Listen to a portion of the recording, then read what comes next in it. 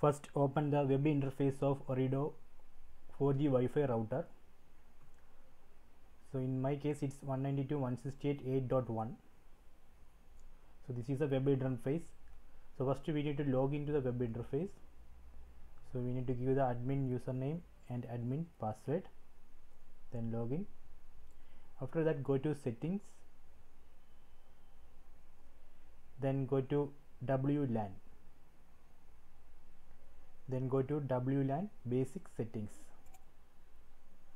So there you can see the SSID so this is the SSID so that SSID you can see I am connected to that SSID so if you want to change the SSID you can change it here.